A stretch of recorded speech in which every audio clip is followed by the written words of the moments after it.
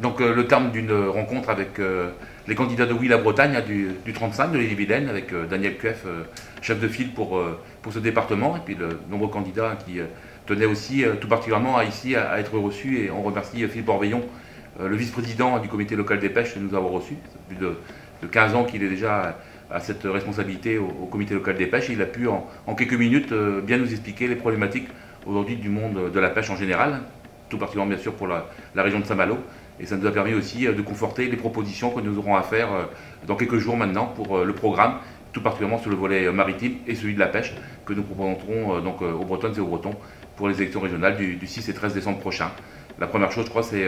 la volonté de, maintenir et de développer la, filière pêche et surtout peut-être mettre fin aussi